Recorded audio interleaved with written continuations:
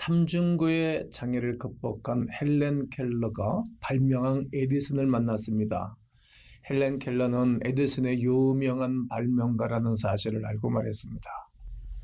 선생님, 제가 만약 당신 같은 훌륭한 발명가였다면 저와 같은 청각 장애인을 위해 들을 수 있는 기계를 발명했을 것 같습니다. 에디슨이 측음기와 소형 영사기와 같은 소리와 관련된 발명을 많이 한 것을 헬렌 켈러는 알았기 때문입니다.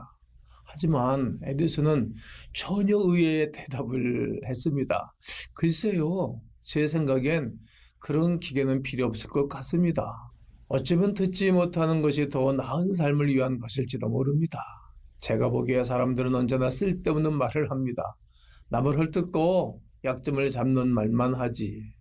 정작 들을 만한 이야기는 거의 하지 않기 때문입니다. 어차피 남의 말을 들어봤자 사람들은 결국 자신이 하고 싶은 대로만 하고 살아갑니다. 에디슨은 헬렌 켈러와 같은 세계에 있는 청각장애인의 고통을 이해하지 못한 것입니다.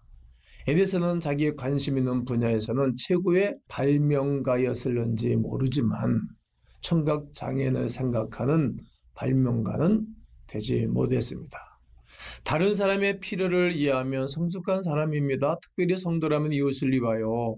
필요를 이해하는 사람이 되어야만 할 것입니다. 우리의 배려와 이해가 복음을 전하는데 더 큰 도움이 될 것입니다. 하나님께서 이웃의 마음을 열어 주실 것입니다. 로마서 12장 8절과 13절에 혹 위로하는 자면 위로하는 일로 구제하는 자는 성실함으로 다스리는 자는 부지런함으로 국리를 베푸는 자는 즐거움으로 할 것이니라. 사랑에는 거짓이 없나니 악을 미워하고 선에 속하라. 형제를 사랑하여 서로 우애하고 존경하기를 서로 먼저 하며 부지런하여 게으르지 말고 열심을 품고 주를 섬기라. 소망 중에 즐거하며 환란 중에 참으며 기도에 항상 심쓰며 성도들의 쓸 것을 공급하며 손 대접하기를 심쓰라. 오늘은 이렇게 기도합니다. 주여 이웃을 배려하는 마음을 주옵소서, 이웃을 이해하는 마음을 주옵소서, 이웃을 사랑하는 마음을 주옵소서.